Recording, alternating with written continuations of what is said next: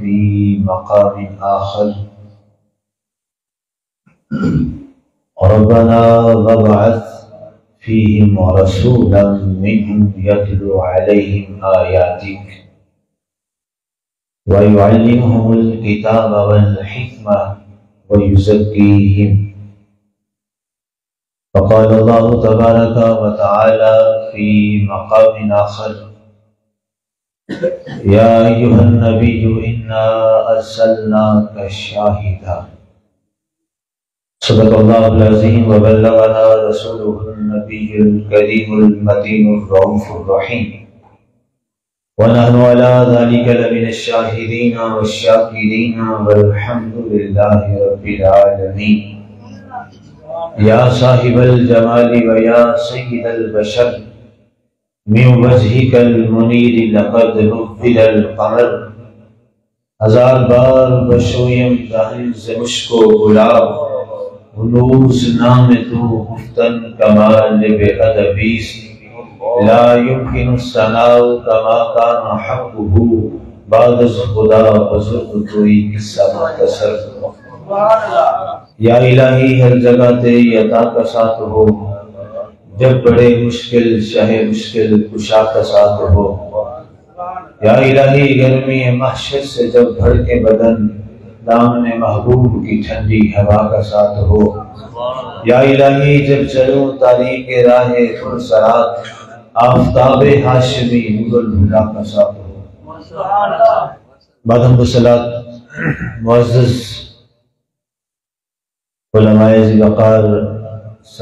हजरात, नकीब महफिल, यारान तरीक़त, मुसलमान भाइयों, बच्चों, नौजवानों बुज़ुर्ग सबसे पहले तो आप और मैं इस वक्त इंतहाई बाबरकत घड़ियों में है। और हमारा सितारा अल्लाह के करम से और निगाह मुस्तफ़ा वसल्लम से अपने उरूज का सफ़र कर रहा है। इसलिए कि आप और मैं किसी और मकसद के लिए यहाँ रात के इस पहर नहीं बैठे, आपका और मेरा बैठना यहाँ पर अल्लाह के घर में सिर्फ़ और सिर्फ़ एक मकसद है कि हमसे हमारा मालिक राज़ी हो जाए। इसके अलावा कोई और मकसद नहीं है। अल्लाह की ज़ात का बड़ा शुक्र और एहसान। मालिक की ज़ात का बेपना करम है। जो आप मुझे जानते हैं, पुराने जानते हैं, लाहौर वाले ख़ास तौर पे और हमारे मौलाना सुहेल साहब हाफिज कारी साहब। और ख़ास तौर पे आपके इलाका में जलाला शरीफ के जो बीस साहब हैं, उनसे बड़ा बड़ा दरीना ताल्लुक है। मेरी ख्वाहिश ये होती है कि जहाँ भी जाऊँ, जिस जगह इतना सफ़र करके बंदा जाए, कोई एक ऐसी बात तो लोगों के दिलों में उतार के इंसान जाए, उसके कदम से कि शायद वो एक जुमला इंसान की ज़िंदगी को तब्दील कर दे लंबी तकरीरें, लंबी बातें, वो मकसद नहीं होता। जगह पे जा रहा है, आप वहाँ देख भी सकते हैं। मैंने ज़िंदगी में कभी किसी को नहीं कहा जी सुबह अल्लाह कहे, अच्छी लग जाए तो कह दे, नहीं कह तो ज़रूरी कोई नहीं है। मकसद हमारा ना आपको राज़ी करना है, ना किसी और को राज़ी करना है। ना सुबह अल्लाह के लिए और वाह वाह के लिए हम आते हैं। हम तो अपने यार को राज़ी करने के लिए बस वो राज़ी हो जाए तो मामला सफ़र भी पूरे हो जाएँगे, बातें भी पूरी हो जाएँगी। और, किबला नसीरुद्दीन साहब मुझे याद फरमाया करते होते थे कि लहजे में अगर रस हो तो दो बोल बहुत हैं। लहजे में अगर रस हो तो दो बोल बहुत हैं। रहती है इंसान को मोहब्बत की जुबायात मैं चंद मोहब्बत की बातें आपसे करूँगा और वो मोहब्बत की बातें अपनी तरफ़ से नहीं करूँगा, वो मैंने कुरान की आयात पढ़ी है बेतरतीब और वो कुरान की आयात से ही आपके सामने मैं मोहब्बत के चंद एक पहलू रखूँगा, ताकि कल जब भी आप ये बात कहीं करें तो आपको ये ना हो कि जनाब डॉक्टर साहब ने जो बात की थी, अब मैं पता नहीं आगे बयान करूँ कि ना करूँ कहीं कोई मुझ पे फतवा ही नहीं लगा दे, कोई मुझ पे एतराज़ ही ना कर दे, कोई हवाला ही ना मांग ले। अब पता नहीं जो हवाला दू तो वो क्या ये हदीस सही भी है कि नहीं है? इसलिए मैंने हदीस भी कोई नहीं पढ़ी। मैंने सारी अल्लाह की आयात पढ़ी हैं। जहाँ बयान करें, बेधड़क होकर बयान करें। जब भी कोई पूछे, कहे, जनाब, ले कुरान ले कुरान, खोल, उसमें ये सारी आयात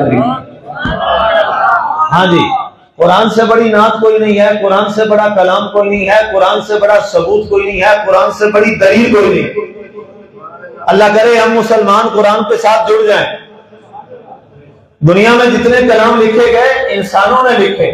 अजमत मुस्तफ़ा में जितना कुछ लिखा गया, वो बाकी लोगों ने, शायरों ने, जो अदीबों ने लिखा, खतीबों ने खुतबे कर दिए। हर एक के खुतबे में नक्शो कमी रह जाती है और होती है। हर एक के कलाम में कमी रह जाती है और होती भी है। लेकिन वो कलाम जो आपको और मेरे रब ने लिखा है, उस कलाम में ना कमी है, ना नक्श है, ना ऐब है। इसलिए रब पहले सफे में फरमा चुका है, जालिकल किताबु ला रईब फ़ी हुदल लिल मुत्तकीन। लोगों ये तो किताब भी वो है, जिसमें जरा बराबर कोई शक है ही नहीं। हाँ जी, कुरान के साथ जुड़ जाओ मुसलमानों। और मेरी आदत है, मैं अक्सर जहाँ भी जाता हूँ प्रोग्रामों में, वहाँ मैं कुरान मंगवा लेता हूँ। और अपने सामने रखता हूँ कहता हूँ तर्जमे के बगैर वाला कुरान ले आए। मेरे लिसनर सारे होते हैं। देवबंद भी सुनते हैं अल हदीस भी सुनते हैं अल तशैयो भी सुनते हैं, और सल्फी भी सुनते हैं। मैं कहता हूँ, जनाब, सारे हैं, सारे सुने। जिस जिसका जो इमाम है, उसका तर्जमा जाके घर में खोल ले और ये आयतों के हवाले हैं, वो पढ़ ले।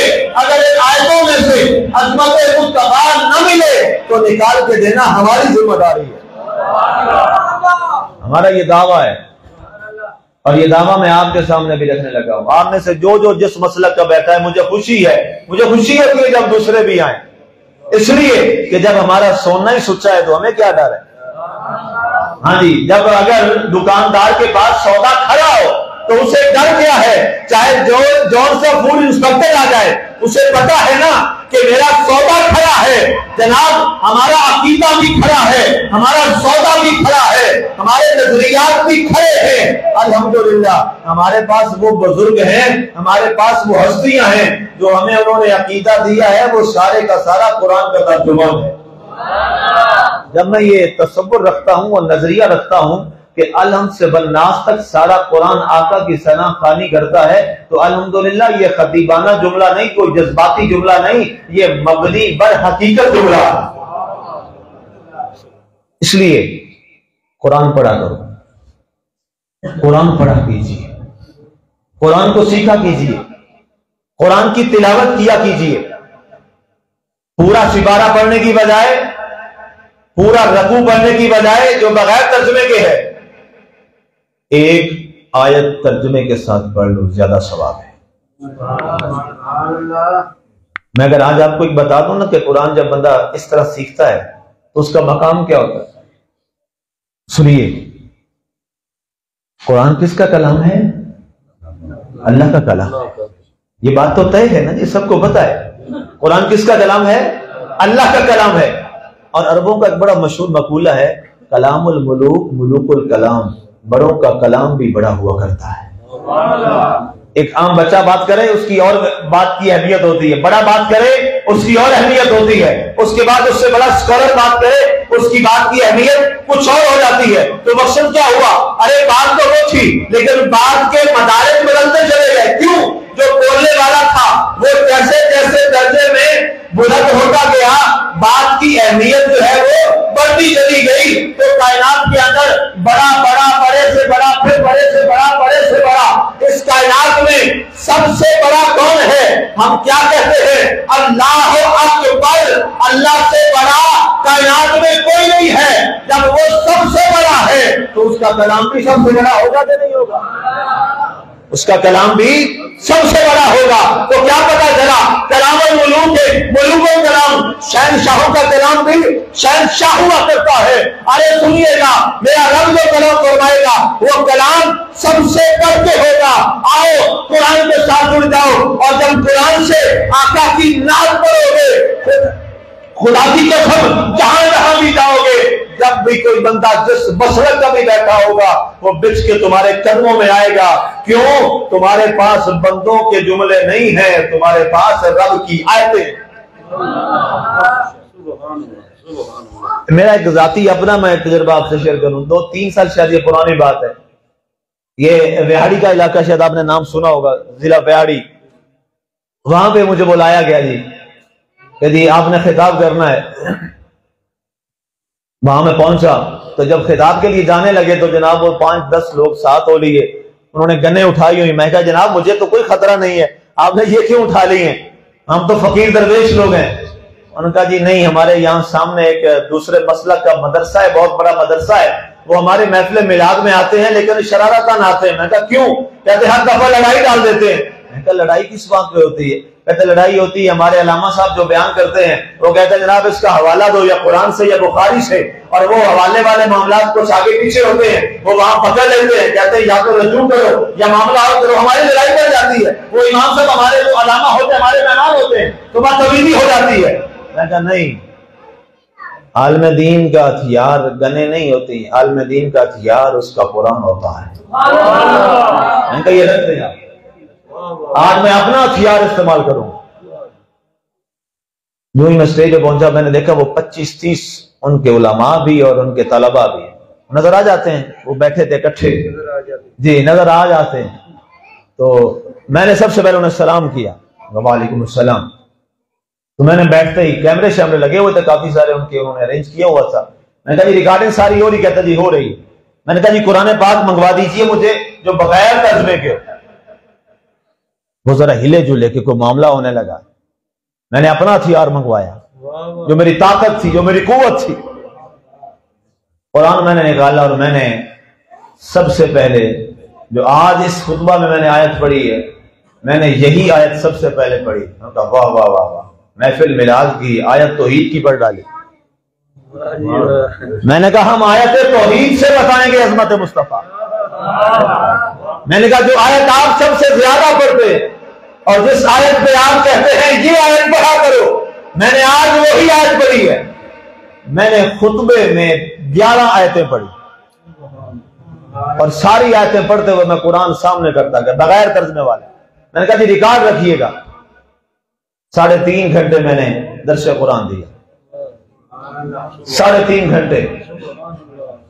और उसके बाद वो सारे के सारे अहबाब उठे। और कहने लगे, हमारी ये ख्वाहिश है। मैं कहा बोलिए आप हमारे मदरसे तशरीफ़ लाए, हम आपको वहाँ दर्श करवाना चाहते हैं। मैंने कहा, क्या हुआ जनाब? वो लोग हैरान खींची बरादरी, बड़े जिम्मेदार लोग थे। मैंने कहा, जी, क्या हुआ? कहते, जनाब, आज हमें समझ आया है, अगर ये मीलाद है तो ये मीलाद हम भी करवाया करेंगे। हमें सोचना चाहिए कहीं ऐसा तो नहीं है कि हमारा तर्जुमान कहीं कमज़ोर हो। और उससे तर्जुमानी सही ना हो तो जो सही बात है, वो भी कहीं खराब ना हो जाए। जज के पास केस लगेगा जी, आप सच्चे भी हैं और आपका वकील माठा है और वो झूठा है, उसका वकील तेज और काबिल है तो होता क्या है? सच्चा हार जाता है, झूठा जीत जाता है बड़ा क्या है? उसका वकील तगड़ा है, उसका वकील तर्जुमान मज़बूत है, वो झूठा होके सच्चा हो जाता है ये सच्चा होकर झूठा बन जाता है। क्यों? तर्जुमान बैठा था, हमने फैसला ये करना है। हमने तर्जुमानी जब भी करनी है तो सबसे पहले कुरान से करनी है। तर्जुमानी किससे करनी है? कुरान से करनी है। ताकि जितने मेरे सामीन कुछ यहाँ बैठे हैं, कुछ घरों में बैठे। अब इसके ज़रिए न जाने कहाँ कहाँ तक आवाज़ नहीं जा रही। हम तीनों हजरात मुझे सुन रहे हैं। कहाँ तक मेरी आवाज़ जा रही है? बात तक ये आवाज़। मैं अर्ज़ करूँ, आइए पहली आयत की तरफ़। मैंने आयत तोहीद पढ़ी है। अभी आयत पढ़िएगा आप। और मैंने आयत वो पढ़ी है जो आप सबको याद है। ताकि आपको पता तो चले ना जी। होता हमारे अवामो नाश में क्या है? मौलाना साहब आए, खतीब साहब आए, बड़ा खुतबा दिया जी, बड़ी तकरीर की। वाह वाह, क्या कमाल तकरीर थी। क्या कहा? ये तो नहीं पता मुझे। खुदारा मजाज बदलिए, अंदाज बदलिए। बड़ा हो गया। हमने बहुत वक्त कमा लिया। हमने बहुत वक्त जाय कर लिया। अब मैं ये चाहता हूँ कि मेरे मसलक का बच्चा और नौजवान जहाँ खड़ा हो, वो जिस अकीदे की बात करे, उसके हाथ में, बाएँ हाथ में कुरान की आयत हो, बाएँ हाथ में हदीस रसूल हो। वो शर्मिंदा ना हो, उसकी गर्दन न झुके। वो मजबूती के साथ कहे, मैं जो कर रहा हूँ, ये कुरान है, जो कर रहा हूँ, ये हदीस मुस्तफ़ा। अब आइए, मैंने सूरत अखलास पढ़ी, उसकी पहली आयत पढ़ी। पहली आयत पे ही पहले बात करते हैं। मेरा ख्याल है सबको ये आती होगी। सूरत अखलास, जिसे कुल वल्लाह बोलते हैं, पंजाबी सादा ज़ुबान। जलाल ने फरमाया, कुल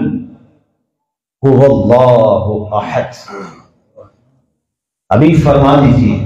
कुरान में जहाँ भी लफ्ज कुल आता है। अल्लाह अपने हबीब से मुखातिब होता है। ऐ प्यारे हबीब, ये बात आप ही इरशाद फरमा दें। कुल, ऐ हबीब, आप फरमा दीजिए। हुवल्लाह, ये हुआ जो है, ये जमीर शान है अरबी ग्रामर की रूह से। ये नहीं कहना कि फरमा दीजिए, वो अल्लाह एक है, जैसे बाल तर्जुमों में लिखा है, ये गलत है। ये जमीर, हुआ इशारे की नहीं है। ये जमीर शान है अल्लाह के लिए। शान ये है कि अल्लाह एक है। अहद। प्यारे हबीब, आप फरमा दीजिए, शान ये है कि अल्लाह एक है। अब भाई, बयान करना था, अल्लाह ने अपनी तोहीद को। बड़ी तवज्जो है मेरी बातों में। हाँ जी। मैं, मेरी पूरी तकरीर में नारा नहीं लगेगा, आपको परेशानी नहीं होगी। हाँ जी, ना मैं सुबह को कहूँगा। जिसने सुनना है, एक बंदा भी बैठे, मैं उस पर पूरा ज़ोर लगाऊँगा जो लाखों को लगाता हूँ। किसी ने जाना है, बस शौक जा सकता है। हम इल्म की कदर रखने वाले लोग हैं। इल्म को बेतौकीर नहीं करते, ज़बरदस्ती किसी को नहीं बिठाते। जिसने बैठना है, बैठे, जिसने जाना है, खुली इजाज़त। एक भी सुनेगा तो बहुत है। बयान करनी थी तोहीद। वल्लाह अहद, अल्लाह ने बयान करनी थी अपनी वहदानियत। तो पहले ज़िक्र किसका कर दिया? हबीब का। और भाई, बयान तो तोहीद करनी थी कि अल्लाह एक है। पहले लफ्ज कुल फरमाया, हबीब को मुखातब किया। कुल अय हबीब, तू फरमा दे। हम शायरी ने सवाल किया मौला बयान तेरी तोहीद होनी थी तो ईद से पहले नाते मुस्तफ़ा। कि कुल क्या है? सादा लफ्जों में कहूँ तो क्या है? नाते मुस्तफ़ा सल्लल्लाहु अलैहि वसल्लम। और भाई कोई बड़ा किसी छोटे को बुला ले आवाज़ लगा ले कोई वज़ीर हो, मुशीर हो, कोई आपके इलाके का एमपी एमएनए हो, वो जाते हुए गाड़ी रोक के किसी को मिल ले या सलाम कर ले, उसका नाम ले ले। वो आके जनाब लोगों को बताता है, जनाब, आज फलाना साहब एमपी एमएनए साहब कहते मियाँ, गाड़ी रोक के मुझे, मेरा नाम लेकर मुझे मिले। क्या होता है, वो फूला नहीं समाता क्यों? जनाब, मेरी शान देखो, उसने मुझे बड़ी इज़्ज़त दी है। जब सारे बादशाहों का बादशाह किसी को नाम लेके पुकारे तो ये नाम नहीं तो और क्या है? कुल। कुल। मौला तोहीद तेरी बयान होनी थी। पहले नाते रसूल। हम तो चले थे तोहीद। हम पे तो ये फतवे लगते थे कि तोहीद ये है। अब मौला तू भी। या हमारे साथ मिल गया या हमें अपने साथ मिला लिया। वाह वाह वाह वाह। अब क्या हुआ? पहले नाते रसूल। कुल क्या है? नाते रसूल, खिताब अल्लाह का और मुखातब कौन है? जाते मुस्तफ़ा सल्लल्लाहु अच्छा मौला, ठीक है, लेकिन हमें यह भी तो बतला दे, हमें यह भी समझा दे कि तेरी तोहीद का ऐलान होना था तो तू बराह रास्त तेरा कलाम था, कुरान था, जबरील लाता है तो तू यूँ ही क्या देता? वल्लाहु अहद। फिर भी मतलब यही है शान ये है कि अल्लाह एक है। अल्लाह क्या ज़रूरत है पहले लफ्ज कुल लाने की? कुल से तोहीद को फ़ायदा कोई नहीं हो रहा। कुल से तोहीद को फ़ायदा कुछ नहीं हो रहा। सिर्फ़ आ जाए ना हुवल्लाहु अहद। बात पूरी हो गई। अल्लाह शरीक है अल्लाह एक है। तो उससे पहले लफ्ज कुल का क्या मतलब है? कहा, तुम्हें समझ नहीं आई, तुम्हें पता नहीं चला। अच्छा मौला, जब बारी आई इब्राहिम सलाम की तो तूने वहाँ फरमाया हो अल्लाह अहद। बारी आई जनाब इदरीस सलाम की तो तूने कहलवाया अल्लाह अहद। बारी आई जनाब, हज़रत सैयदना इस्माइल सलाम की तो तूने यही करवाया हु अल्लाह बात आई जनाब मूसा जो तेरा कलीम भी है तो वहाँ भी बात आई हो अल्लाह अहद। बात आई हु अल्लाह की, मैंने चंद नाम लिए, बाकी और अस्मा भी है। वहाँ भी बात आई तो उन्होंने क्या फरमाया? हो अल्लाह हो, अहद, के शान ये है कि अल्लाह एक है। तो प्यारे महबूबा, जब तेरे हबीब की और तेरे अजमत महबूब और शान वाले नबी की बात आई तो तू अब नहीं फरमा देता ओ अल्लाह अहद के शान ये है कि अल्लाह एक है। लेकिन जब हबीब की बारी आई, तूने सारे कानूनी तोड़ दिए। तूने कानूनी सारे तोड़ दिए और तूने क्या फरमा दिया? कुल हो अल्लाह कहा, वजह कुछ और है, वो वजह समझो। मौला, वजह भी समझा दे। आइए कुरान से ही पूछते हैं। एक नबी हैं जिनका नाम है मूसा अलैहिस्सलाम। नाम सब रखा है आपने? जानते भी हैं। साहिब किताब भी हैं, साहिब शरीयत भी हैं। और कुरान में आका के बाद सबसे ज़्यादा जिस नबी का नाम आया है, उसका नाम है हज़रत सैयदना मूसा अल्हम्दुलिल्लाह, नौ दफ़ा पूरा कुरान में तफसीर से पढ़ा चुका हूँ। अलहम से बन्नास तक, अल्हम्दुलिल्लाह। और सारे का सारा ऑन रिकॉर्ड भी पढ़ा हुआ है। सबसे ज़्यादा किसका नाम आया है कुरान में? आका के बाद जनाबे मूसा आप जानते हैं, मैं इशारा करके आगे बढ़ रहा हूँ। आम बातें जो आम फाम सुनी है वो मैं नहीं बयान करता कि रिपीटेशन हो जाए, दोबारा बातें ना जाए, वक्त बड़ा कीमती होता है। अल्लाह से वो कलाम करते थे, इसलिए उन्हें कलीमुल्ला कहा जाता था। इससे बस इतनी बात और आगे बढ़ जाएगी। एक दिन मालिक से कहने लगे ए मेरे मालिक आ रही नहीं। कुरान के अल्फाज हैं। ऐ अल्लाह मुझे अपना दीदार करा दे। अल्लाह ने साफ़ जवाब दे दिया लन तरानी। ऐ मूसा तू मुझे कभी भी नहीं देख सकता। कभी भी? जी मैंने लन तरानी लाम नून जो अरबी ग्रामेटिकली है मैंने उसके मुताबिक तर्जमा किया। ए मूसा तू कभी भी हाँ जी ये तर्जमा आपने कहीं लिखा हुआ नहीं पड़ा होगा।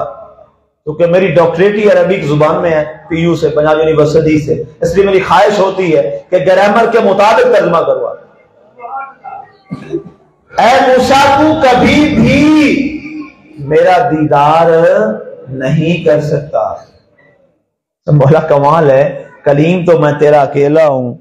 जब कलीम से भी ये मामले हैं तो फिर बाकियों की तो अल्लाह ही खैर करे। जिससे बातें हो रही हैं उसको इतना सख्त जुमला कि तू कभी भी मेरी जियारत मेरे दीदार नहीं कर सकता। तो सवाल किया मौला फिर तू छुपा ही रहेगा पर्दों में तुझे कोई भी नहीं देखेगा यूँ ही मस्तूर रहेगा। कहा नहीं किसी के लिए पर्दे उठाए जाएँगे। हाँ जी किसी के लिए पर्दे उठाए जाएँगे। किसी के सामने फासले मिटाए जाएँगे। किसी के सामने रूबरू नदारे कराए जाएँगे और किसी को सामने बिठा के दर्शन कराए जाएँगे। नाराए तकबीर। नारे रिसालत नारे हैदरी। या अली मत बस में तवज्जो रहे। अच्छा मौला कौन है? का मूसा भूल गए का मौला रहनुमाई फरमा दीजिए। तो रहनुमाई फरमाता है। फरमाया मूसा जब तुम्हारी अरवाहें मेरे दरबार में हाजिर थी तो मैंने तुमसे एक वादा नहीं लिया तुम्हें नहीं मालूम? क्या वादा नहीं लिया था? क्या वादा? फरमाया, मैंने तुमसे वादा लिया था। ये जो मैं तुम्हें नबूवत देने लगा हूँ ना ये नबूवत भी तुफैली है। अगर कोई मेरा जुमला समझ लफ्ज तुफैली पे गौर कर ले। तुम्हारी नब, नबूवत जो है वो क्या है?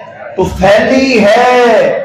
तुफैली सादा लफ्जों में आऊँ इलाके की ज़ुबान में। तुम्हारी नबूवत किसी की वजह से है। आपकी ज़ुबान में यहाँ पता नहीं आप कौन सी पंजाबी बोलते हैं? तो मैं लाहौरी ज़ुबान की जो पंजाबी जनाब तेरा नहीं मैंने मुँह किसे होर दा है? इसको तुफैली कह लेते हैं उर्दू ज़ुबान में। तुम्हारी जो नबूवत है वो क्या है? तुफैली है। मैं तुम्हें नबूवत न देता अगर उसकी नबूवत को आश्कार करना मुराद ना होगा तो मैंने वादा लिया था अगर वो नबी आ जाए तुम्हारे जमाने में तो करना क्या है दो बातें? कुरान ने फरमाया लतुमिनुन्न बिही व लतंसुरुन्ना मैं अभी तक आयतें पढ़ रहा हूँ। कुरान के अल्फाज पढ़ रहा हूँ अभी तक मैं। हाँ जी, सिर्फ़ आयात कुरान की। और मैं चाहता हूँ कि आपको किसी तरह आज कुरान पे लगा के जाऊँ। और जब भी कभी कोई आपके पास खतीब आए तो आप पहले अर्ज़ रख लें मेरा सफ़र पूरा हो जाएगा कि हज़रत साहब, आज आपने सारी तकरीर कुरान पे कर दी वाह जी वाह वाह वाह ताकि खतीबों को भी तो पढ़ने की आदत पड़े ना जी। ये बात छोड़ दे, बड़ा वक्त गुजर गया। मैंने ये सुना था, मैंने ये सुना था, फलां से सुना था। अब्बा जी ने ये कहा था, उस्ताद जी ने ये कहा था, नहीं भाई, रब ने कुरान में क्या कहा है, वो हमें बताए ये हमारा बच्चा नौजवान, हमारा बुज़ुर्ग, चौक में खड़े होके कोई मसला बयान करे तो इसकी टांगे जो है वो ना दे और परेशान ना हो कि कहीं कोई और आ गया और उसने ना दलील दे दिया। तो परेशानी ना हो। कहेगा, यहीं खड़ा हो, ले आ कुरान। कुरान तो सबका एक है। खोल ना कुरान, उस पर बात कर। जिस दिन ये मजाज बन गया, यकीन कीजिए, हम जवान हो जाएँगे दोबारा। वापस आइए। तब दो बातें ईमान लाना है उस पर और उसकी मदद करनी है। मूसा सलाम मैंने ये चेहरा अनवर सिर्फ़ उसी के लिए छुपा रखा है। इसलिए लन तरानी तुम कभी भी मुझे नहीं दे सकते। कहा मौला वो देखेगा। फरमाया हाँ वो देखेगा। तू आता है उसको बुलवाया जाएगा। ये है कलीम आपके और मेरे नबी हैं हबीब। नाम याद रखना है। वो क्या है? कलीम। और ये है हबीब। कलीम वो होता है जो जाता है। हबीब वो होता है जिसको बुलवाया जाता है। वो आता नहीं है, उसको बुलवाया जाता है। और जिब्रील कदम बोसी करके आके ये अर्ज़ करता है इन अल्लाह प्यारे आका, अल्लाह तेरी मुलाकात का मुश्ताक है। वक्त नहीं, मगर ना मैं आपको कम अज कम घंटे में समझाता कि ये लफ्ज मुश्ताक, अरबी का कहाँ से आया? आप तड़प जाते कि ये मुश्ताक के अंदर क्या शौक है। बुलवाया, फरमाया हाँ मूसा वो आएँगे। मकाम दोनों पे आएँगे। हम उन्हें बुलवाएँगे और ये कहेंगे, सुम्मा दाना, फतदल्ला, फकाना काबा कौसैनी अवदना फअौहा इला अब्दिही मा औहा मा जागल बसर व मा तगा मा जागल बसर व मा तगा कहा प्यारे मूसा? अब जरा तुझे थोड़ा सा कुछ इल्म तो आ गया है तुझे एनुल यकीन वाला मामला भी ना करवा दूँ। अब ये जुमला सुनेंगे तो फिर आपको समझ आएगी माजागल बसर। अभी मैं उसका तर्जमा जानबूझ के नहीं कर रहा। पहले बात सुना के ना, फिर आऊँगा माजागल बसर पे। मौला चलो कोई थोड़ा बहुत, सारा दीदार नहीं, बस थोड़ी बहुत चलो। पर मैं अच्छा हम एक जलवा डालते हैं, पहाड़ पे? तुझ पे नहीं। पहाड़ पे? यानी डायरेक्ट नहीं इनडायरेक्ट बिला वास्ता नहीं बिल वास्ता. सीधा सावा नहीं होर पासो हाँ, तीन चार जबाना बोल छड़िया कोई तो समझ जाओगे ना. अब डायरेक्ट नहीं इनडायरेक्ट उस पहाड़ पे जलवा डाला कुरान क्या कहता है? मैं कुरान पे भी हूँ. फखर्रा साइका मूसा.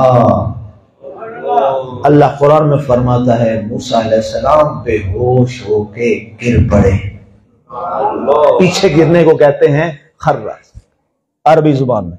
मूसा अलैहिस्सलाम ऐसे जलवा पड़ा ना जनाब मूसा अलैहिस्सलाम पे नहीं पहाड़ पे तूर पे तो फखर का साई का मूसा मूसा अलैहिस्सलाम पे होश हो होके गिर पड़े।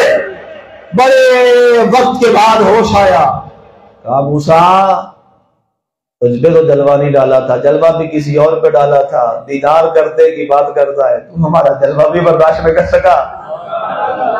तो जलवे के लिए फिर हिम्मत भी तो होनी चाहिए। काम मेरा महबूब वो है। जिसको मैंने दीदार करवाना है, उसको मैं कैसे करवाऊँगा? फरमाया, सामने बिठाऊँगा और सामने बिठा के सारे पर्दे उठा दूँगा। और उसके बाद क्या होगा? माँ जागल बसर, अब आए शायद पर ताकि समझ आ जाए। माँ जागल बसर, वहाँ तबा मेरा महबूब, मेरा बराह रात दीदार करेगा। मेरे महबूब की आँख भी नहीं चपकेगी माजागल बसर, बमा तला न भटकेगी न उलझेगी, न झपकेगी, क्या होगा? सामने यार का चेहरा होगा और सामने दीदे यार हो रही होगी। जब होश आया ना जी? होश आया। कहा, मौला, जरा दोबारा फरमाना।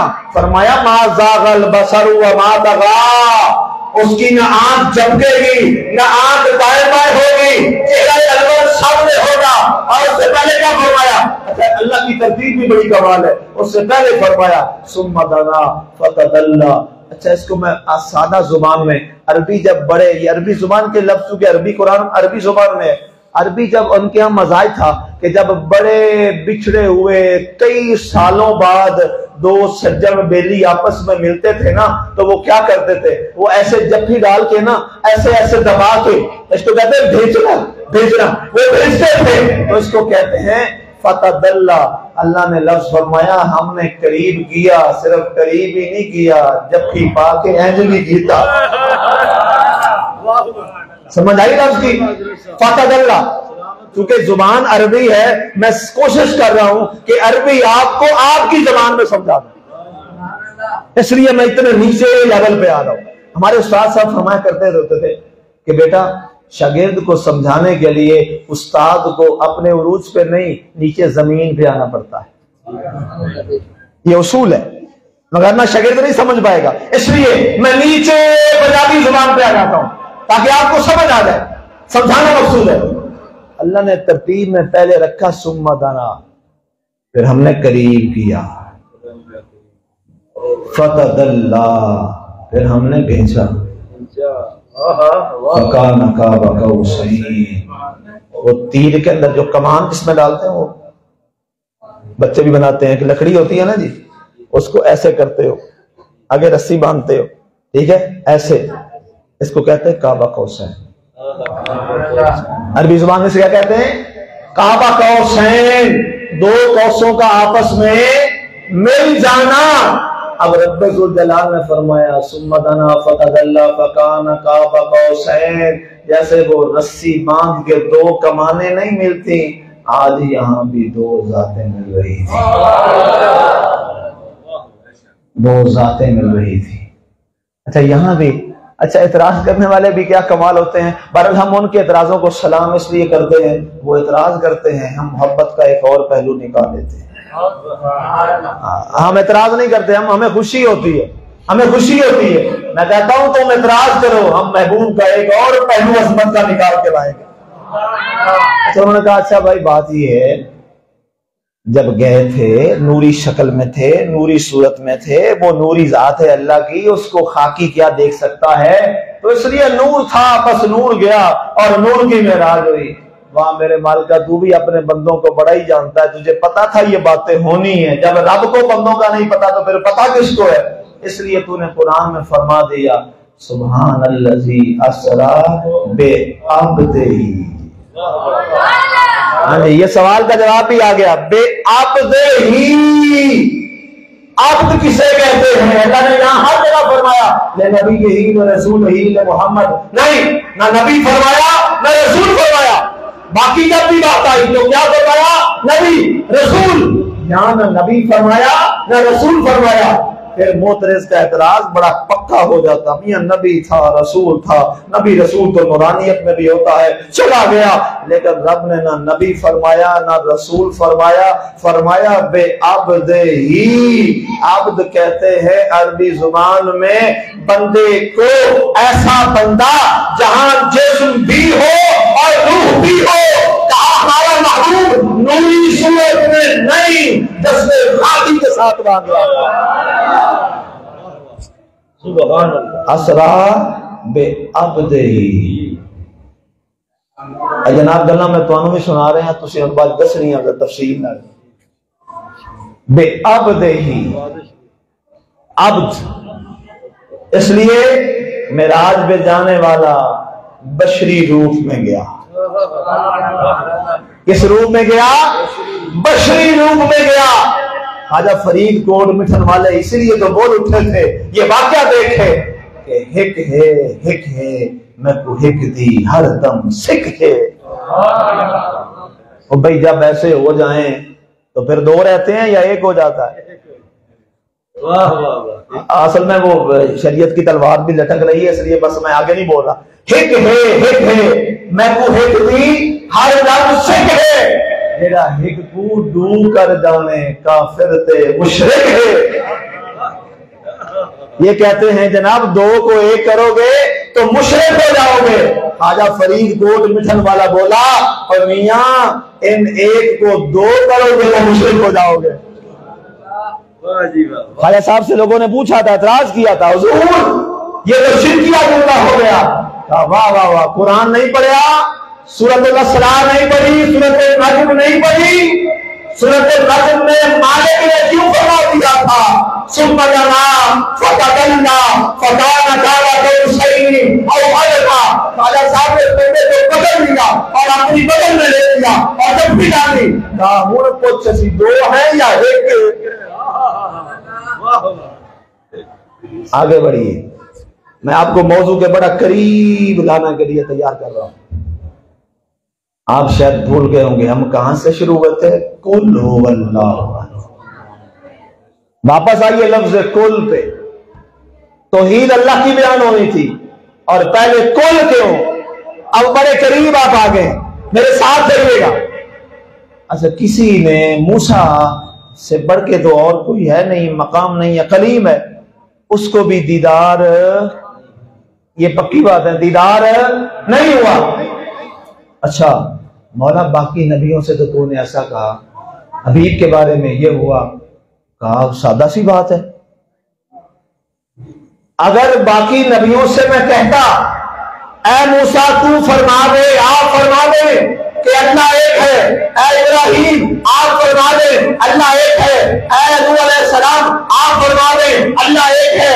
ए याकूब सलाम आप फरमा दे अल्लाह एक है। अगर कोई उम्मती खड़ा होके पूछ लेता ए मूसा सलाम ए ईसा सलाम जिस अल्लाह के एक होने की आप बात कर रहे हैं उसको देखा है? उसको देखा है? आप जो फरमा रहे हैं, अल्लाह एक है, क्या आपने देखा है? आप, हम भी बात करते हैं ना, कोई बात करे। तू तू वेखे? तेन पता है? पहली बात ही यही होती, पहला एतराज़ ही होता है। तो फरमाया, अगर कोई उम्मीदी खड़ा हो जाता और ये कहता अल्लाह के नबी, आप तो ईद की बात कर रहे हैं, आपने अल्लाह को देखा है तो खुदा न खास्ता, अगर ये सवाल होता, मेरा नबी लाजवाब होता एतराज़ नबी पे नहीं, नबी के मुंतखब करने वाले पे जाता। अल्लाह की जात क्या है? वो तो सुबहान है। इतराजों से पाक है। सुबहान का माना क्या होता है? हर ऐब से पाक है। फरमाया जाता नबी के बनाने वाले पर फरमाया इसलिए वहाँ कोई नहीं फरमाया, जो भी नबी आया, आज आदम था, ईसा सलाम सबको कहा, मियाँ, तुम्हारी कैपेसिटी ये है, तुम्हारी हैसियत ये है, तुम्हारी मिसाल ये है, तुम्हारी ताकत ये है, तुम्हारी औकात ये है कि तुमने कहना है, अल्लाह एक है। अल्लाह एक है। जब बारी आई महबूब की, अब यूँ ना चला कि हुवल्लाहु फरमाया नहीं खुल सोया तू इन्हों कह देना अल्लाह एक है। पानी है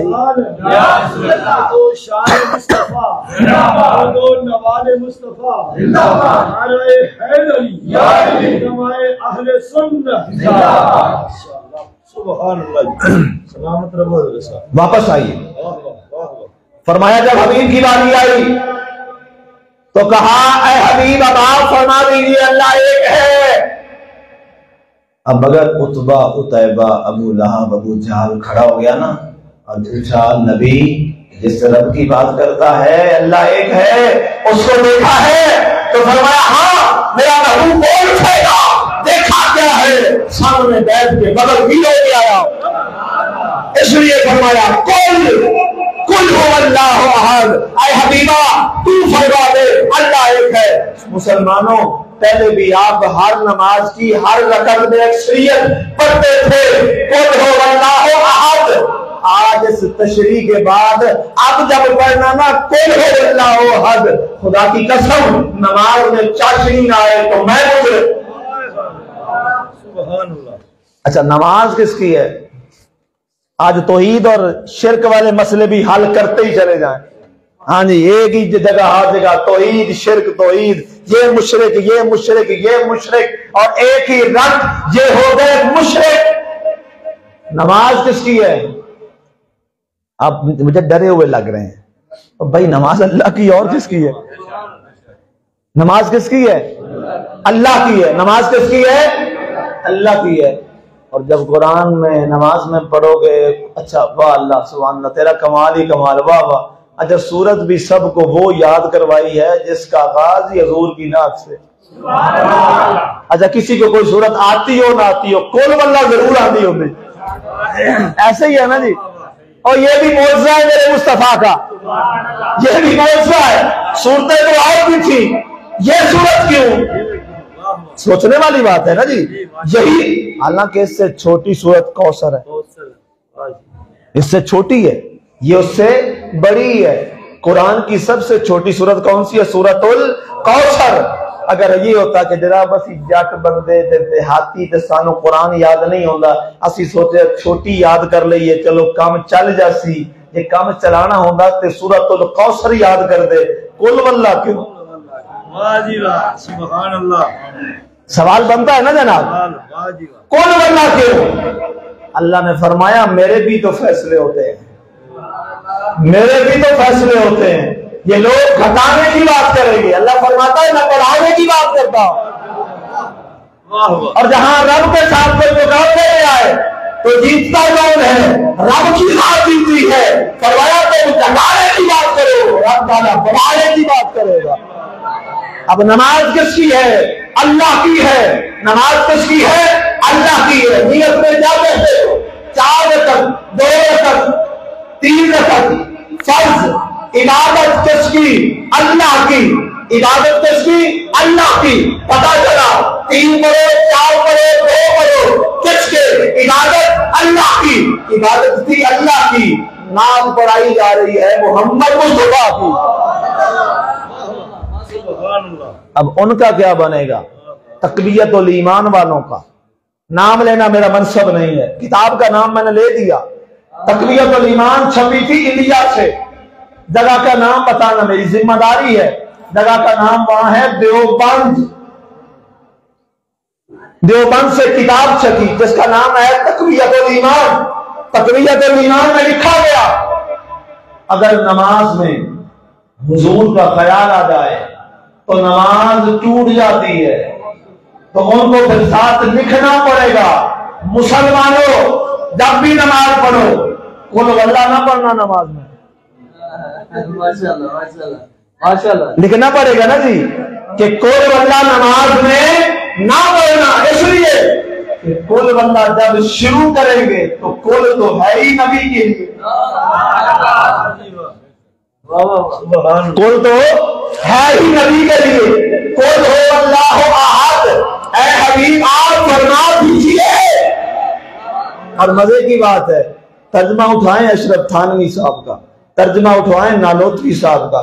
तर्जमा उठाएँ अब्दुल कादिर साहब का। तर्जमा उठाएँ जनाब, ये तकी उस्मानी साहब का। तर्जमा उठाएँ किसी मकबा का। जिसका उठा लें अहले तशय्यो का उठा ले। अहले सुन्नत का उठा ले, देवबंद का उठा ले, अहले हदीस का उठा ले। सबने यही लिखा है, ऐ नबी, तू कह दे। अब मतलब यह है कि सबको पता ये है कि कुल से कौन मुराद है। इसलिए मैं कहता हूँ, जिस जिस का जो है ना, उसी का कुरान का तर्जमा उठा के पढ़ ले। हाँ मैं पाबंदी नहीं लगा रहा, कोई ये ना कहे, एक मसला की ना ना ना ना। जिस जिसका है उसी उसी का कुरान ले और तर्जमा पढ़ ले। अगर सबने ना लिखा हो तो मैं मुजरिम। मैं मुजरिम। मैं जिम्मेदार। एक एक जुमला रिकॉर्ड हो रहा है। कुल जी वाह ए हबीबा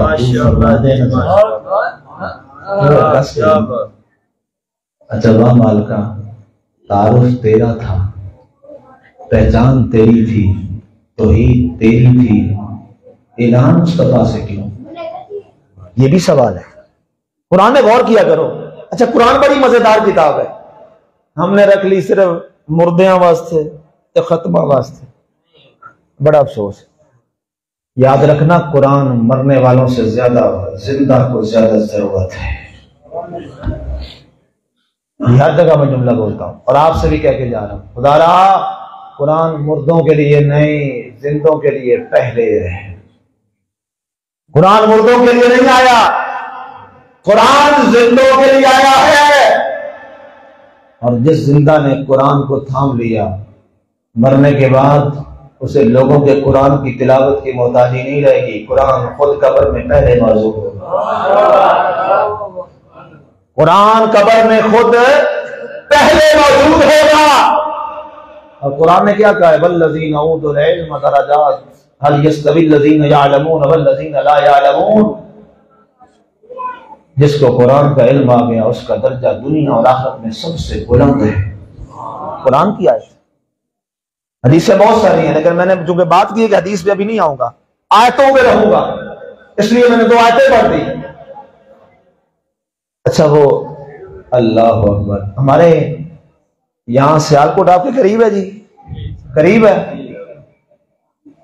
सियालकोट आपका करीब है, लाहौर में उनकी मजार हमारे करीब है, जिसका नाम है अलामा इकबाल अहमद।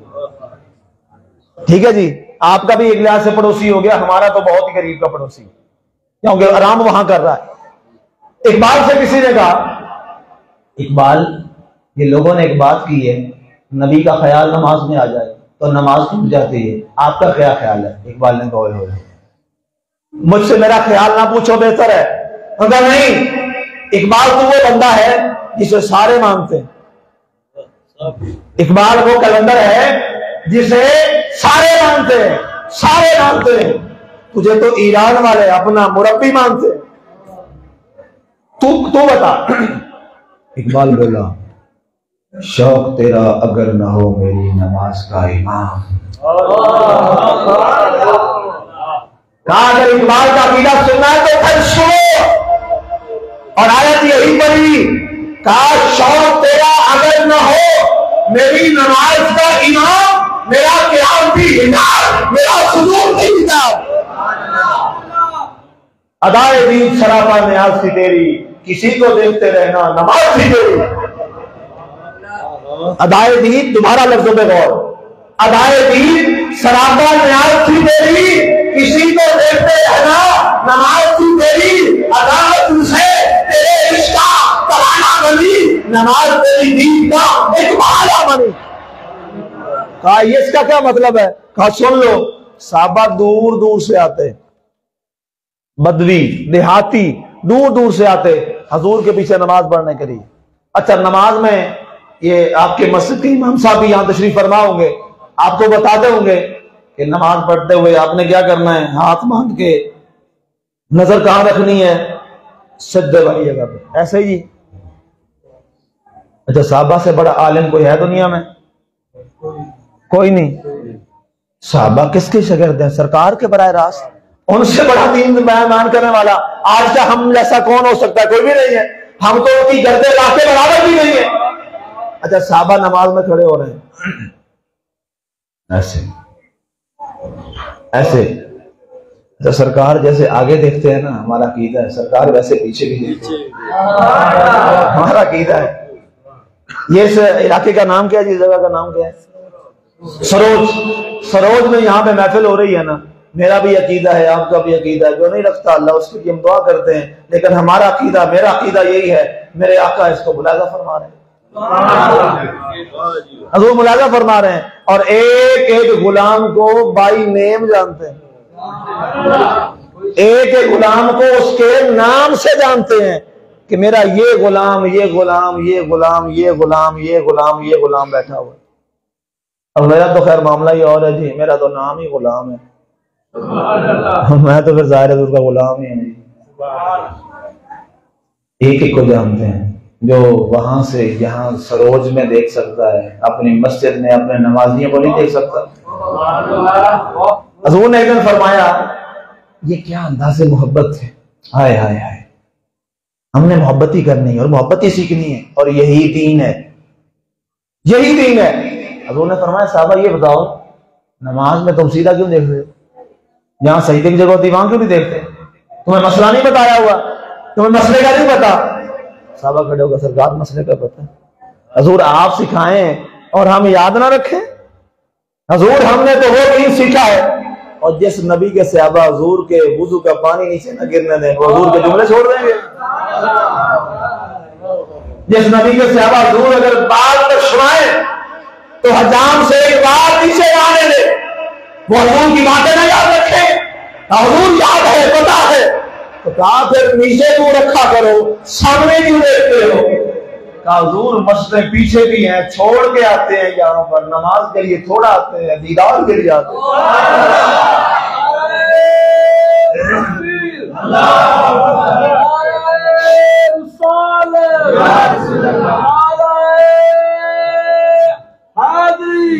सैयदी मुर्शदी या नबी या नबी सैयदी अब इकबाल का शेर मैं दोबारा पढ़ लगा, अब समझ आपको सही आएगी। पहले सियाको समाज पसे मंजर नहीं था, अब पसे मंजर मैंने बयान कर दिया। अब सुनिए, इकबाल कहता है नींद सरापा न्याज थी तेरी। अदाए नींद सरापा न्याज थी तेरी, और किसी को देखते रहना नमाज़ थी तेरी। अजाहर से तेरे रिश्ता कराना गली नमाज़ तेरी का एक बहाना बनी। कहा, हम तो अजान के इंतज़ार में रहते थे। कब अजान आए? न हमें अजानों से गरज, न हमें संतों से गरज। हमें तो गरज थी सिर्फ़ दीदार की। इकबाल का तीसरा शेर सुना दूँ, अब आपको समझ आएगा। शौक तेरा अगर न हो, मेरी नमाज़ का इमाम, शौक तेरा अगर न हो मेरी नमाज़ का इमाम मेरा क्याम भी इजाद मेरा सुजूद भी इजाद। इजाद का मतलब क्या है? पर्दे वाला बेकार। कार न क्याम का फ़ायदा न सजदे का फ़ायदा न रकू का फ़ायदा। अगर फ़ायदा है तो कब होगा।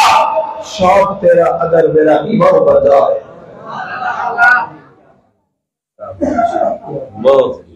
वाह अब फिर आइए। सुबह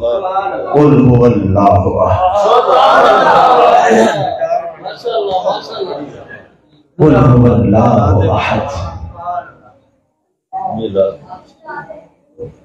अब मेरा ख्याल है अब कुल वल्लाह आपको समझ आएगी थोड़ी बहुत। जब पढ़ेंगे ना नमाज़ में कुछ दिन तो याद रखेंगे। हाँ, इंशाल्लाह। कुछ दिन याद रखेंगे। जब पढ़ेंगे ना कुल पहले पढ़ते थे कुल अब आप ऐसे नहीं पढ़ेंगे। अब पढ़ेंगे कुल। फिर मज़ा लेंगे याद अजब फरीद फरमाया सब दादा शौक नमाज़ हमने मस्जिद हम तू नज़र है। ये हमारे बापों बुज़ुर्गों ने ऐसे नहीं ये बातें कही। हाँ जी कुरान समझा ही नहीं उन्होंने। है कुरान सीखा ही इन्होंने। और इश्क ये है। अच्छा एक, एक और थोड़ा सा हवाला सुन लीजिए नमाज़ किसकी है? फिर दोबारा मेरा सवाल। हाँ जी, नमाज़ किसकी है? अल्लाह की। अब तोहीद तोहीद करने वालों की खैर नहीं है। और मैंने कहा, भाई तोहीद समझ जाती है रिसालत के साथ। मैं दोबारा जुमला बोल दूँ। तोहीद समझ जाती है रिसालत के साथ। रिसालत मोहती तोहीद हमें कौन बताता? किसने अल्लाह को देखा है? कोई एक बताए हमें। तोहीद वाले बताते चले, और तुमने अल्लाह को देखा है। अब अल्लाह को ना देखा, ना भाला। किसके कहने पे कहा, अल्लाह एक है? दवा सहाबा किसी को गल ही नहीं। सहाबा के मैं ना उजुल गाबा पढ़ रहा था। सहाबा आते ना और आके कहते बाबे रब्बे मोहम्मद। हम कसम उठाए हम कहते हैं, अल्लाह की कसम। साहबा कराम जब कसम उठाते वो कहते हैं, बाबे रब्बे मोहम्मद, हमें रब मोहम्मद के रब की कसम। अच्छा या या असी बैठे सी, या वो सीधे सी? असी बैठे हैं, वो सीधे सी। वो सीधे सी। हैं? वो ठीक थे। वो सच्चे थे। वो दीन वाले थे। वो रिसालत वाले थे। वो तौहीद वाले थे। हमें मोहम्मद के रब की कसम एक दिन सरकार ने पूछ लिया, ये सरकार और साहबा जो मुकालमे होते थे ना, ये असल में हमारे लिए होते थे। ये हमारे लिए होते थे, उनके लिए नहीं, उन्हें तो सब कुछ पता था। ये सब हमारे लिए था। हजूर ने पूछा, फरमाया साहबा, कुरान में तुम्हें नहीं पता? अच्छा मज़े की बात। सारे साहबा मुस्दी अरबी थे। जब अरबियों को कुरान का नहीं पता तो अजमियों को फिर क्या पता? वो तो पहले ज़ुबान थे। कहा, तुम्हें पता नहीं, कसम बल्ला बिल्ला तल्ला, तीन कसमें होती हैं। बल्ला, बिल्ला, तल्ला। कुरान में यही तीन कस्में हैं। और यही कस्में होती हैं। अल्लाह की कसम, बल्ला, बिल्ला, तल्ला। कसम अल्लाह की होती है। तो सरकार ने फरमाया तो तुम ये क्यों नहीं कहते, बल्ला, तल्ला, बिल्ला?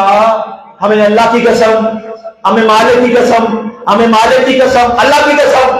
और ये क्यों कहते हैं दरम्यान में मेरा नाम पहले क्यों लेके आते हो और कहते हो, हमें मोहम्मद के रब कसम क्यों नहीं कहते? अल्लाह की कसम। तो साहबा ने कहा सरकार सानू की पता अल्लाह कौन है? तू फरमाया, अल्लाह है, असि मान ले अल्लाह है। हमें क्या पता अल्लाह क्या है?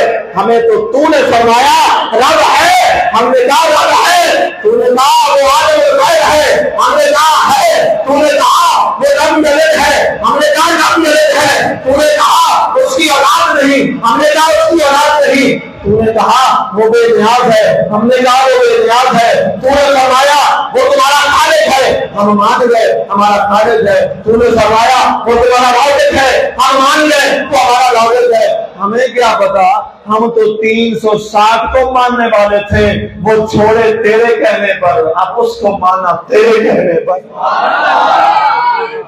इसलिए जब कसम उठाएँगे तो हवाला तेरा देंगे।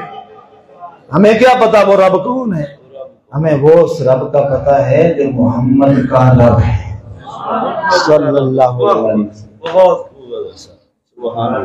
हाँ जी तोहीद समझ आई है कुछ?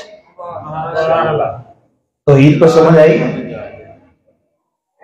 मैं तो जहाँ जाऊँ मैं कहता हूँ यार अच्छा कोई तोहीद वाला बैठा है ना तो आज मेरा दिल करता है मैं तोहीद ना बयान करूँ। तो कहेंगे लो ਮੌਲਵੀ ਇਹਨਾਂ ਦਾ ਗੱਲ ਸਾਡੀ ਕਰਨ ਲੱਗਾ ਪਿੱਛੇ ਕਹਿੰਦਾ ਯਾਰ ਫਾਸੀ ਗਏ हैं गए मैं फांसी गए हैं गल कर मैंने अर्ज की थी एक बात वकील तकड़ा होना चाहिए वकील तगड़ा वाह वकील तकड़ा होना चाहिए वकील मजबूत होना चाहिए हमारे अकीदे जैसा अकीदा दुनिया में किसी ने नहीं है।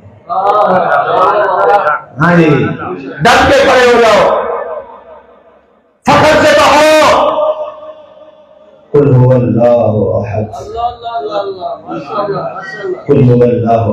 प्यारे हबीब अब तू फरमा देना फिर किसी ने सवाल भी किया था आका फिर रब के जलवे का आँखों से देखे रब से बातें का सामने बैठ के की का मुलाकातें का रातों में की मुलाकातें रातों में की बातें सामने बैठ के की दीदार रूबरू होके किया। कहावाना और मैं सुन लो पूरी सूरह नजम आ गई। पूरी सूरह नजम आ गई तिलावत कर दी। कहा कुछ बातें और मैं कुछ बता देता हूँ सारी नहीं बताता। कोई राज की बातें भी तो होती कुरान ने क्या फरमाया? फाउहा इला अब्दिही माउहा अल्लाह भी तो कहा गया। अल्लाह ने भी छुपा दी। अल्लाह फरमाता है, हमने अपने बंदे से कुछ बातें की थी। हाँ की थी? जो की तुम्हें क्या? अच्छा एक बात ना सुबह अल्लाह अल्लाह। एक वो राज वाली बात आपको बता दो?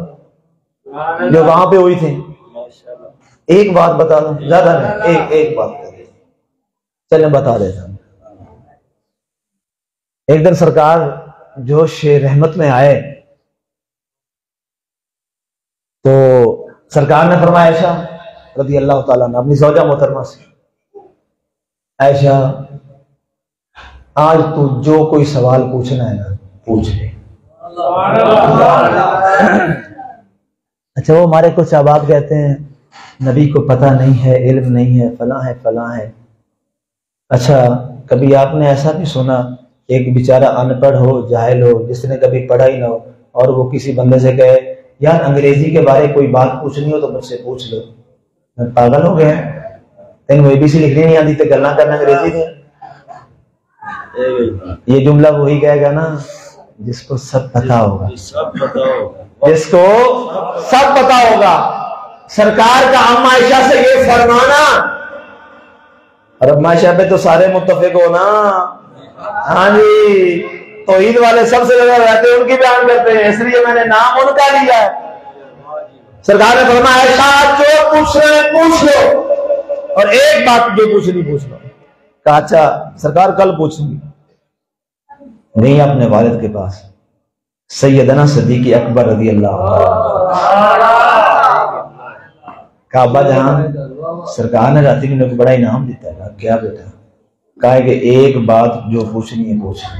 एक बात शर्त हो एक ही बात। कहा अच्छा आयशा बड़ा मौका है। सरकार से ये पूछना, जो कुरान में अल्लाह ने छुपाई है ना बातें मेराज वाली रात की क्या बातें, अल्लाह फरमाता है, मैंने बातें की, जो बातें की। ज़ोर से कहना कोई एक बात उस रात की बता हाय हाय हाय। इंशाल्लाह, ईमान अभी सदी के अकबर लगा हो ਅਸੀਂ ਉਹਨਾਂ ਨੂੰ ਮੁਰੱਬੇ ਦੇ ਦਿਓ ਜਨਾ ਡੰਗਰ ਦੇ ਦਿਓ ਫਲਾਣਾ अल्लाह करे ईमान भी सदी के अकबर वाला हो अगले दिन सरकार ने पूछा हाँ जी हाँ जी आयशा पूछो काजूर एक सवाल फरमाया बोलिए हजूर जब मिराज पे आप गए थे ना तो अल्लाह कुरान में फरमाता है फाउहा इला अब्दी माउहा अल्लाह ने वो बातें सारी छुपाई हैं उनमें से एक बात बता दे वाह वाह वाह वाह वाह आका हो बेखबर अपने गुलामों से वो आका क्या है आका को अपने गुलामों और मुरीदों का पता ना हो, वो आका फिर किस बात का? सुबह अल्लाह सुनिए, फरासत मुस्तफ़ा देखिए सरकार ने बताया आयशा, ये सवाल मेरा नहीं है, ये सवाल किसी और का आयशा, ये सवाल मेरा नहीं है, ये सवाल किसी और का है बता किसका है? सरकार मुस्कुरा दिए कहा, आपको नहीं पता। सरकार ने फरमाया, ये सवाल अबू बकर है। वाह वाह, ये है मोहब्बत। ये होती है मोहब्बत। सरकार ने फरमाया आयशा अब अबू बकर ने पूछा है ना तो फिर सुन ले। एक बात फिर सुन ले। वहाँ बहुत सारी बातें हुई थी। उनमें से एक बात यह थी अल्लाह ने फरमाया प्यारे हबीब जिसके मुसलमान के दिल में राई के दाने के बराबर तेरी मोहब्बत होगी मैं अल्लाह क्या मत वाले दिन उसको माफ़ कर। दोबारा जुमला बोल दू? दोबारा बोल दू? प्यारे हबीब जिसके दिल में राई के दाने राई सकते हैं ना? या बीजते होंगे यहाँ पे? सरसों का वो जो बरीक सा भी होता है बीज जिसके दिल में राई के दाने के बराबर तेरी मोहब्बत होगी, मैं उसको माफ़ कर दूँगा।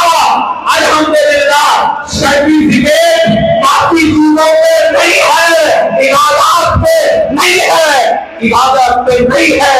बख्शिश का सर्टिफिकेट है तो मोहब्बत और गुलामी मुस्तफ़ा के। इसलिए न इधर उधर दी गल सुना बोलना कोई यार दी गल सुना बोलना। हमें वो बातें ना सुनाओ। हर वक्त ये करोगे तो बिच्छू आ जाएँगे, ये करोगे तो डसे जाओगे, ये करोगे तो ये। और मैं क्या डसो मरो तुसी। डसो मरो तुसी। दो रख में नए तो क्या? मेरा साया भी न जाएगा। क्या क्योंकि उसका भाई से ये देखा लगेगा हम तो इस इंतज़ार में है कि मौत आए तो कब्र में उतारे जाए। तीन सवाल होंगे, हम लोग तीसरे सवाल के इंतज़ार में हैं। मन रबो का दसा गे रबी अल्लाह। सा रब अल्लाह है। असि कोई बुतों के रुके हैं किसका है। अल्लाह का घर नहीं। मौला, तेन असी नहीं पहचाने। हमारा रब अल्लाह है माँ भी होगा हमने पढ़ा है, ला इलाहा इल्लल्लाह, मुहम्मद रसूलुल्लाह। सल्लल्लाहु है बात का अल्लाह का वली है, पीराने पीर है। अब्दुल कादिर जीलानी, हमारे सबके पीर। पीराने पीर। भी फौत हो गया। कपड़े धोता था हजूर गौसे पाक के। कब्र में ले गए। बेचारा सादा सा था, कपड़े धोता था। फरिश्ते आ गए। कहा मन रब्बों का? तेरा रब कौन है? धोबी ये हमारी किताबों में नहीं लिखा। अशरफ अली थानवी, देवबंदियों के इमाम, उनकी किताब नशरुद्दीन हवाला बाद में भी आप निकाल लीजिए ਐਵੇਂ ਗੱਲਾਂ ਸੁਣਾਉਣੀਆਂ ਸੌਖੀਆਂ ਹੁੰਦੀਆਂ ਨੇ ਜਦੋਂ ਰਿਕਾਰਡ ਹੋ ਰਹੀ ਹੋਵੇ ਫਿਰ ਪਟ ਪਤਾ- ਮੈਨੂੰ ਪਤਾ ਮੇਰੇ ਤੇ ਕੀ ਗੁਜ਼ਰ ਰਹੀ ਹੁੰਦੀ ਹਾਂਜੀ ਐਵੇਂ ਤੇ ਜੋ ਛੱਡੀ ਜਾਓ ਦਿਲ ਕਰੇ पहला सवाल मन रब्बों का तेरा रब कौन है कहा गौस इबादत होगी मियां यार अजीब है सवाल तो रिश्ते भी कहते होंगे पहली मैयत आई जरा रोड़ा पाई होती है दूसरा सवाल, उन्होंने कहा, यार, अगला तो पूछ ले, शायद सीधा हो जाए मामला। उन्होंने कहा अच्छा ये बता मादीनों का, तेरा दीन क्या है? धोबी का दूसरा जवाब यार दोनों दस तो है, मैं गौस का धोबी अच्छा अब जब तीसरा सवाल होने वाला था ना जी, फरिश्ते अल्लाह के दरबार में, मौला करीम, पहली दफ़ा एक मैयत आई है, जिसको बिठाया है कब्र में। हदीस के अल्फाज है ना फयू के दान है फरिश्ते उसको बिठा देते हैं, फिर सवाल कर बुखारी और मुस्लिम के हदीस का हवाला मौला पूछते हैं, तेरा रब कौन है? कहता है, गौस पाक का धोबी। कभी ऐसा वाकया नहीं हुआ। दूसरा सवाल पूछा, तेरा दीन क्या है? कहता है, गौस पाक का धोबी। तो सरकार ने, अल्लाह ताला ने फरमाया, तीसरा सवाल पूछ के देख लो। होना नहीं होते? क्या फरमाया? फरमाया फरिश्तों के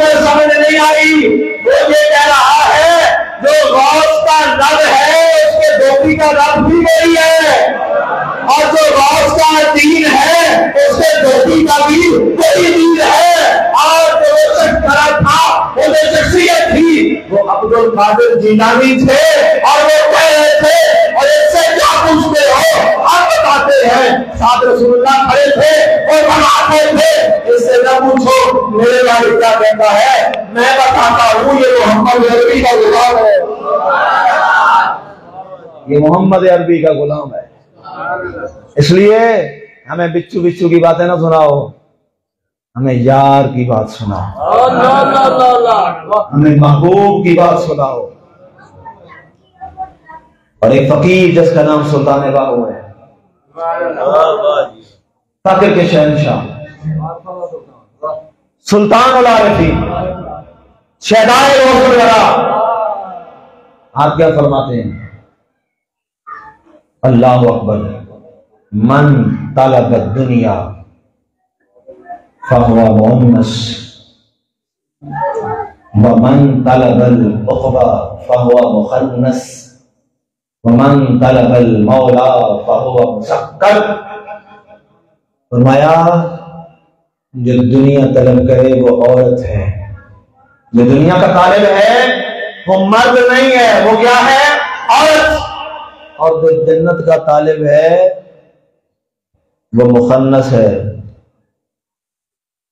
पंजाबी की कहते खुसरा? हाँ जी, अरबी में इसको मुखन्नस कहते हैं। वो ना मर्द है ना औरत। अच्छा आपके यहाँ मर्द कौन है? सुनिएगा जुमला। शदाय गौसल वरा का। कहा, मन तलबल मौला फहुआ मुसक्कर। मर्द वो होता है जो जन्नत नहीं, रब को माँगता है। और राबिया बसरिया ने इसकी वजाहत की कैसे हज़रत राबिया बसरी आप फरमाती है, मेरा जी करता है। मैं एक हाथ पे पानी रखूँ, एक हाथ पे आग रखूँ, आग से जन्नत को जला डालूं और पानी से जहन्नम को उतारूं कि ना जन्नत के लिए कोई इबादत करे, ना दोजख के डर से कोई इबादत करे इबादत जो भी करे मालिक को राज़ी करने के लिए आज के बाद जन्नत और दोजख के लालच में नहीं सजदा करना सजदा करना है यार से मुलाकात के लिए। जन्नत तुम्हारे कदमों में ना पीछे तो इंशाल्लाह इंशाल्लाह और जिसको जन्नत का मालिक मिल जाए जन्नतों पे ठहरते फिरते हो मालिक को क्यों नहीं लेते? वो नाम सुना होगा आपने महमूद अयाज का। मैं सुल्तान महमूद बादशाह था, अयाज उसका गुलाम था। बड़ी मोहब्बत थी वजीरों में, बशीरों में। अच्छा हुआ क्या एक दिन? बादशाह ने ऐलान किया। सुल्तान सारे बड़े जलते थे अयाज को बड़ा बड़ा इज़्ज़त देता है, मकाम देता है। उसने कहा अच्छा कभी दिखा दूँगा। उसने कहा, जाओ, आज सारे वज़ीर जितना जितना जवाहरात सोने मेरे बादशाही मल से उठा सकते हो, उठा लो। वो सारे वजीर दौड़े और जिमें साढ़े ते पिंडा ਦੇ ਵਿੱਚ ਇਹ ਵੀ ਹੁੰਦਾ ਨਾ ਜੀ ਜਦੋਂ ਚਾਵਲ ਲੈਣਾ ਉਹ ਜੀ ਮੇਰਾ ਛੋਟਾ ਬੱਚਾ ਹੁੰਦੇ ਵੀ ਚਾਵਲ ਮੈਂ ਦੇ ਦੇ यार दे दिया करो बस कोई कभी नाम ही हो तो फिर भी दे दिया अब वो बादशाह सारे आ गए बादशाह सलामत ये ये मेरा बेटा भी ये भी ले ले खा ले तो खजाने में कमी है सारे हीरे जवाहरात ले लेके उठा उठा के भर के जा रहे हैं और अपनी सदुकड़ियाँ भरते हुए जा रहे हैं घरों की तरफ़ बगलों में भी, हाथों में भी पाओ में भी, कपड़ों में भी हसीनों में भी हीरे छुपा छुपा के जा रहे हैं। एक वज़ीर बैठा है चुप करके जिसका नाम अयाज है। सुल्तान ने देखा महमूद गजनवी ने। कहा, सुल्तान, महमूद गजनवी ने, अयाज, तुझे हीरे नहीं चाहिए। सारे लेके खाते मेरी बादशाही से। तू भी ले ले। उसने कहा, जिसको हीरो वाला मिल जाए, उसे हीरे क्या कर रहे इनको हीरे मिल गए, मुझे हीरो वाला मिल गया। इसलिए, जन्नत की लालच में नहीं, जन्नत के लालच में नहीं, सजदा कर जन्नत के मालिक की मोहब्बत। और फिर जब पड़ेगा ना सुबहान रब्बी अल आला जब फिर पड़ेगा ना सुबहान रब्बी अल अजीम और जब पढ़ेगा ना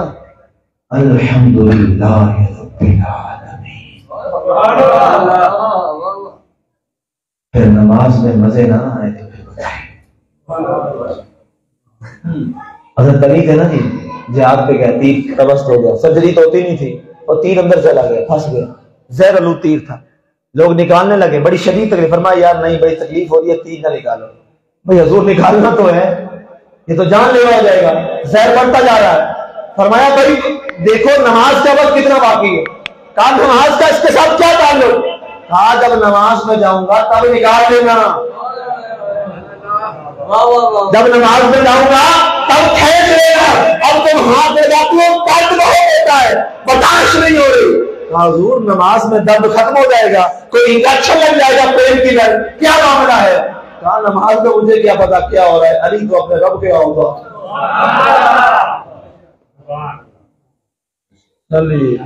काश हमें कोई ऐसी एक नमाज़ मिल जाए। और वो नमाज़ कैसे पढ़नी है? कुल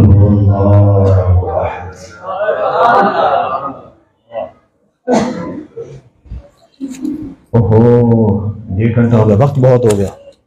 बस कर दें जी वक्त बहुत हो गया, बहुत वक्त हो गया, डेढ़ घंटा हो गया। मुझे समझ नहीं आई, आप थक गए होंगे मेरा ख्याल है। आपकी थकावट का मुझे एहसास है, सारे थके बैठे। पिछले दिनों मैं आया हूँ वहाँ पे वो ज़फ़र वाला जी, वो कौन सा इलाका? पिछले हफ़्ते कहाँ गए हुए थे? बकरवाल। अच्छा मैं आया ना जी तो पहले खिताब हो रहा सी अद्धे चादरा लेके सुते पिंडाल च तो मैंने एक साहब कहते जी, ये तो सारे सुते रहे। मैं सुते रहे, मैनू की अंदर गरज मैं जगाना है, मैं चौकीदार हूँ। मैं खुद तो खिताब आया हूँ। सुते सौन बिस्मिल्ला उत्ते रिजाइयाँ पा दो पंद्रह के दस मिनट में बोलिया ना सारे उठन लग गए एक मिनट बाद फ्रेश हो मैं कहा सौंदे नहीं कहते हूँ ते कल तक असि नहीं सौना क्यों की होया कहते कुरान दी गर्मी एडी तुसी पा छड़ी है मैं पहले देख रहा था बंजर थके थके फ्रेश हो गया डेढ़ घंटा मैं फ्रेश करता हूँ तीन घंटा मैं खिताब करता हूँ बाद मर गए तीन घंटे हो नहीं ऐसी बात नहीं जो मैंने अर्ज़ किया, ये सारे का सारा मेरे रब का कलाम था अल्लाह का कलाम। और सिर्फ़ एक बात मैं कर सका, कुल अल्लाह वाहद की डेढ़ घंटे और अगर मैंने दूसरी बात छोड़ दी ना, और जब छेड़ी और दरमियान में छोड़ दी, फिर मज़ा नहीं आता बात बंदा कोई एक ले, एक लफ्ज ले कुरान का, फिर उसको पूरा समझा के उठे। लेकिन एक बात मैं ज़रूर अर्ज़ किए देता हूँ कि मैंने दुआ पढ़ी ना मूसा सलाम की। रब शराह ली सदरी मूसा सलाम अल्लाह के दरबार में दुआ कर रहे हैं अल्लाह, मेरा सीना खोल दे अल्लाह, मेरा सीना खोल दे, मेरे मामलात सीधे कर दे, आसान कर दे, मेरी ज़ुबान की नफरत को खोल दे। लोग मेरी बात को समझें ये कौन दुआ कर रहे हैं? मूसा करीमुल्ला अल्लाह के दरबार में। अच्छा सारे नबियों ने दुआएँ मांगी अल्लाह के दरबार में। दुआएँ भरी पड़ी सूरत कसस आप उठा के देख लीजिए। दुआएँ सारी। अच्छा वाह महबूबा तेरे अंदाज भी बखरे पूरे कुरान में कई हजूर ने दुआ नहीं मंगाई। हर जगह रब ने फरमाया महबूबा तू इंज कर ले। अच्छा इधर फरमाया रब्बी शराली सदरी। अल्लाह मेरे सीने को खोल दे। तो जब महमूद की बारी आई कानून बदल दिया क्या कहा? अलम सोने आसी तेरे वास्ते तेरा सीना खोल नहीं छड़िया। अलम नशरह लका सदरक। क्या हबीबा हमने आपके लिए आप का सीना खोल उधर अल्लाह के नबी कह रहे मौला, मेरे काम सौखे कर दे, मेरी काम तोड़ दे इधर क्या फरमाया, मारा पाना लाकर ज़िक्र कर, सोनिया, हमने तेरे लिए तेरा ज़िक्र बुलंद नहीं कर रखा। सरकार, आयत आई है, मारा पाना लाका। अच्छा जो लफ्ज लाका है ना इस पे बड़ा गौर करना चाहिए। अगर ये होती ना बात वाला खाना ज़िक्र बात पर भी ठीक थी। और हमने आपका ज़िक्र बुलंद किया।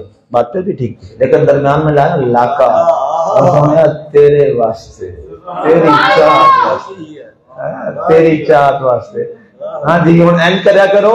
जदों कोई मौलाना साहब इमाम साहब कुरान सूरत पढ़े ना नमाज़ विच तो सलाम फिर तो बाद क्या इमाम साहब है नमाज़ ने चाहे सूरत नहीं पढ़नी। हजूर का ख्याल आंदा पे इस दरमियान ये कितनियाँ सूरत कटे सो? हाँ जी। ये की करे सो फिर? मेरे एक दोस्त है यूनिवर्सिटी में पीएचडी में मेरे क्लास फेलो थे। तो वो बड़े कट्टर थे इस, इस माहौल के।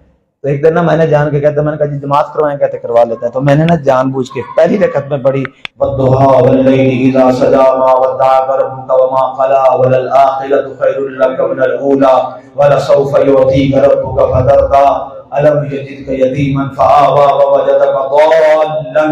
फहदा ववजदका आइलन फअगना फअम्मा यतीम फला तक़हर वअम्मा साइल फला तनहर वअम्मा बिनिअमति रब्बिका फहदिस पहली रकत में दूसरी में पढ़ी अलम नशरह लक सदरक व वदअना अनका विज़रक। अब वो थे अरबी ज़ुबान के मैं क्या जनाब ये जो दो सूरतें मैंने पढ़ी है ना यार मुझे इनका मैं तर्जुमा नहीं आता जरा तर्जुमा पढ़ा देंगे अच्छा उसको समझ नहीं आई। तो उनमें ना एक बड़ा शरारती था ये मुरीद के का रहने वाला था। वो वो वो सल्फी था। तो कहने लगा तुम्हें सरवर कादरी की बात नहीं समझ आई। कहते क्या मतलब? कहते वो तुम्हें इसको तर्जमा नहीं आता? इसको कुरान का तर्जमा नहीं है तो उस दिन पढ़ा चुका है कि तुम्हें क्यों कह रहा है? कहते मुझे नहीं पता। कहता अच्छा फिर तर्जमा कर। जब तर्जमा किया तो सारे तर्जमे की आयतों में क्या आ रहा था? ए नबी ए नबी ए रसूल ए रसूल। मैं क्या जनाब इंज करो ये सारे नमाज़ दोबारा पढ़ो। ये नमाज़ कोई नहीं, हुई। तो मुताबिक मेरी तो हो गई। आपकी नहीं हुई कहते क्यों? मैं कहा, सारी आयतें ज़िक्र दा हजूर दा पे होंदा ही नमाज़ रब दी है। किस किस सूरत को निकालोगे? वापस आना पड़ेगा गुलामी रसूल में। वापस आना पड़ेगा। कल शर्मा शर्मा के जो आना है, आज खुले मुँह क्यों नहीं आते? हैं? कल छुपे छुपे जो आना है अजब करता है कि चिलमन से लगे बैठे हैं। साफ़ छुपते भी नहीं, सामने आते भी नहीं। कल कफन में मुँह छुपा छुपा के जो जाना है तो आज खुले मुँह आ जाओ ना। आज खुले मुँह क्यों नहीं आ जाते? और ये मान लो, सब कुछ क्या है? जाते मुस्तफ़ा है। सब कुछ क्या है? जाते मुस्तफ़ा है। सब कुछ वो है। अगर ये हाँ कर देगा ना, मामला सारे सीधे हो जाएँगे। वापस आइए। इब्राहिम ने सवाल किया, कई फरा फला ज़िक्र का यार रसूलुल्लाह सरकार आपका ज़िक्र रब ने आपकी खातिर कैसे बुलंद किया? फरमाया, काल अल्लाह तबारक व तआला वही पढ़ने लगा वही गैर मतलब जिसे कहते हैं हदीस से कुछ सी ये वही होती है, लेकिन तिलावत नहीं होती कुरान में। इसे कहते हैं वही गैर मतलब। दो किस्में हैं वही की। वही मतलब जो कुरान तीस पारे और वही गैर मतलब जो तिलावत न हो, लेकिन फरमान किसका हो? अल्लाह का। इसे कहते हैं हदीस कुदसी। सरकार ने फरमाया, काल अल्लाह ताला। अल्लाह फरमाता है, इला जुकिर तो जुकिर तमाई मन जकर का फकत जकरनी। प्यारे हबीब, तेरा ज़िक्र ऐसे बुलंद किया है, जब मेरा ज़िक्र किया जाएगा तो हबीब साथ तेरा भी दोबारा लफ्ज सुनिए और मोहब्बत को ताज़ा कीजिए।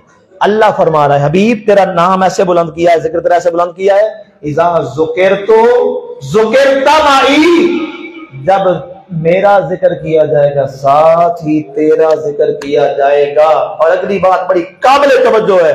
फरमाया, प्यारे हबीब, मन जाकरा का फकत जाकरानी नहीं फरमाया मन जाकरानी फकत जाकरा का ना ना ना ना ना मन जाकरा का फकत जाकरानी प्यारे हबीब जिसने तेरा ज़िक्र कर लिया उसने मेरा आप पे ही कर लिया अब समझ आई है जी तोहीद की जिसने तेरा ज़िक्र कर लिया उसने मेरा ज़िक्र कर लिया अब अगर सारी रात कोई कहता है या रसूल अल्लाह या रसूल अल्लाह या रसूल अल्लाह या रसूल अल्लाह या रसूल अल्लाह या रसूल अल्लाह या रसूल अल्लाह तो होगा? ये सारी रात क्या करता रहा है? या अल्लाह या अल्लाह या अल्लाह या अल्लाह। ये मेरी खतीबाना बात नहीं ये हवाला जो है। कुछ मिसाल है तो शार मुस्तफ़ा तो नवाल मुस्तफ़ा इसलिए हमको या रसूलुल्लाह कह के भी या अल्लाह के मज़े लेते हैं और या अल्लाह कह के भी या रसूलुल्लाह की चाशनियाँ समेटते हैं। इसलिए हमें अल्लाह का पता भी इसी दर से मिला है। शाहों से मिला है, न तवंगर से मिला है। शाहों से मिला है, न तवंगर से मिला है। शाहों से मिला है, न तवंगर से मिला है। अल्लाह का बुरहान तेरे दर से मिला है। औरों को मिला है तो मुकद्दर से मिला है। आका। हमें तो मुकद्दर भी तेरे दर से मिला। हम क्या करें? हमारे पास तो मुकद्दर भी दर मुस्तफ़ा से आता है और लोग कहेंगे ये शायर का कलाम है। आओ रब का कलाम सुन लो। इस रुबाई पर कलाम इलाही सुन लो। आयत सुन लो। मेरा वादा था आयत पढ़ूँगा। वादा पूरा करूँ। कहीं कोई ये ना कह दे जनाब मुफ्ती साहब वादा खिलाफी होगी। सुन लीजिए आयत। अल्लाह फरमाता है, वलो अन्नहुम इज़लमू अनफुसहुम जाऊका। ऐ लोगों, अगर अपनी जानों पर गुनाह करके जुल्म कर बैठो ना तो मेरे नबी के दरबार में अच्छा वस्तगफिरुल्लाह अल्लाह से माफ़ी मांगो। रसूल और हमारा रसूल भी तुम्हारे लिए माफ़ी मांगेगा तो क्या होगा? रहीमा। हमारे अल्लाह फरमाता है हमें तौबा कबूल करने वाला मेहरबान भाव है। अच्छा गुनाह किसका होता है? अल्लाह का ना जी? नाफरमानी किसकी होती है? अल्लाह की। अच्छा नाफरमानी अल्लाह की हुई। दरबार किसका दिखाया? रसूल तो ये बंदा था कहता काबे टुर जाओ। मेरा घर जाके एड़ियाँ रगड़ो मथे रगड़ो विच माफ़ी मंगो गिलाफे काबा पकड़ के रो रो के माफ़ी मंगो माफ़ कर देगा पूरे कुरान में ये आयत नहीं है। पूरे कुरान में ये आयत नहीं है। डरे नहीं तसली रखे मैं ज़िम्मेदारी से कह रहा हूँ। पूरे कुरान में ये आयत नहीं है। हाँ ये आयत है गलती हो जाए ना मेरी। तो मेरे महबूब के दर पे चले जाओ माफ़ कर दूँगा ते फिर आला दर्दे शेर ते गल मुकाना छड़िए। बखुदा खुदा का है यही बखुदा खुदा का है यही दर। नहीं और कोई मफर मफर जो वहाँ हो यही आगे हो। जो वहाँ नहीं तो जहाँ नहीं।